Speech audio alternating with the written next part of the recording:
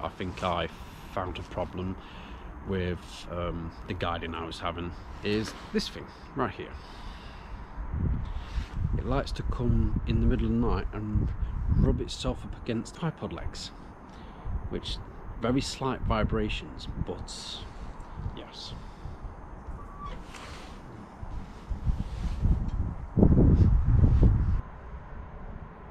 So tonight is meant to be a very, very clear night. Cold, but clear. Second opportunity since buying all the current items for me to try out the SV SVBony 7 nanometer filter. Uh, it's the SV220. I'm going for the Horsehead Nebula because that was the last image I took with my Canon 500D. I want to see the difference between the Canon and the CLS filter from SU SVBony compared to the 405C with the 7 nanometer filter. So half nine at the latest, there's going to be clouds. It is windy, but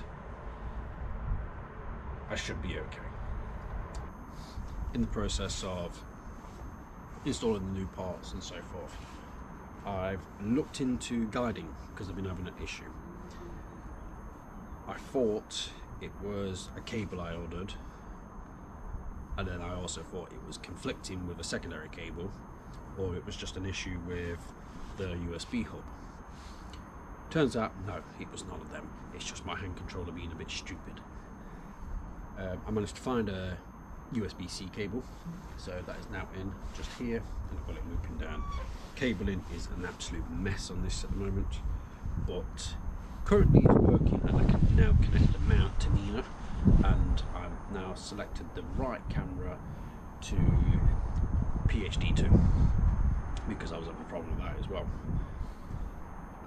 I've also sorted out a little bit of a backlash issue I've had. The the thing is, this mount is good for self-tracking up to around about two minutes, and then it's not very good, and you lose a lot of subs. You lose roughly about half of what you've got. So hopefully, I've sorted out the backlash issue, and I'm going to try see if it will guide tonight. If it doesn't, then we shall see.